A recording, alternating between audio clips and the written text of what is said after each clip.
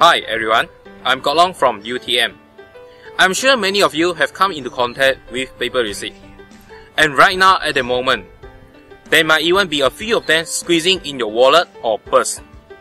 Paper receipt serve the basic function of recording or as a proof of certain transaction record being made.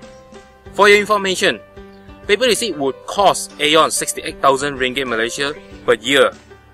On top of that, thermal paper receipt consists of chemical substances such as BPA that will bring health hazard to customer when they are in contact with it. In most cases, paper receipt received by customer were thrown instantly and became trust after transaction records have been checked.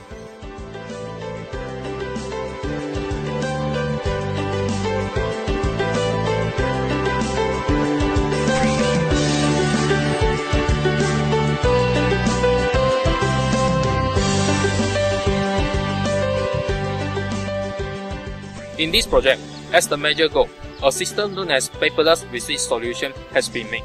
It is known as PRS system. It is a system that provides electronic receipt dispensing feature after the transaction has been made. This system comprises of two parts, namely PRS station and PRS smartphone application.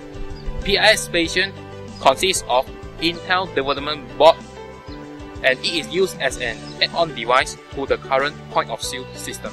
While PRS smartphone application allows the retrieval of e-receipt from PRS station.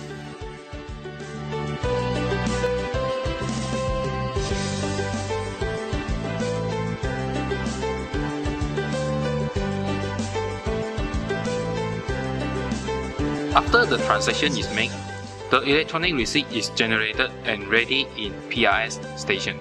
Hence, customer will be able to retrieve the electronic receipt in the following steps. Step 1.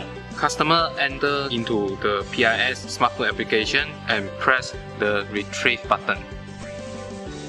Step 2. Place smartphone on the platform of PRS station to retrieve electronic receipt. Step 3. Once retrieval of the electronic receipt is completed, customer is able to check the transaction proof instantly.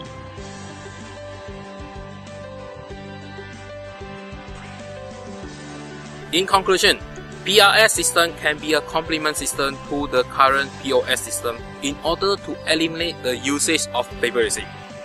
PRS smartphone application serves as the substitute to the paper receipt to allow virtual tracking of the expenses and transaction made. Production of paper receipt can thus be reduced with this paperless concept.